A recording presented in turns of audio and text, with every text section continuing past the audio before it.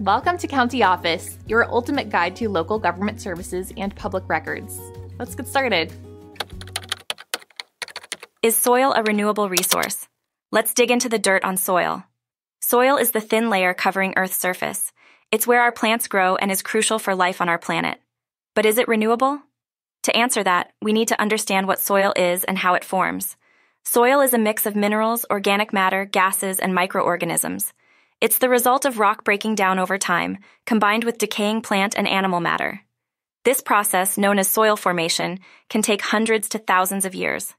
Now, soil is renewable in the sense that it can regenerate. However, there's a catch. Soil regeneration is a slow process. It relies on natural cycles and careful human management. If we don't protect and manage soil properly, it can degrade.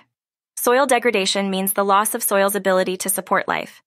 Factors like deforestation, overgrazing, and poor agricultural practices can harm soil. These activities can lead to erosion, nutrient depletion, and pollution. When soil is degraded, it can take a very long time to recover, if it can at all. So, is soil renewable?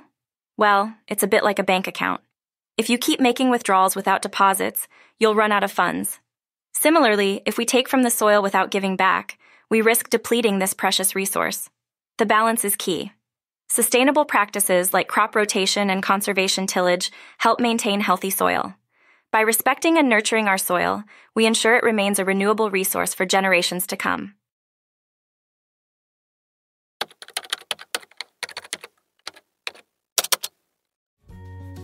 To learn more, check out these links, which you can click in the description below.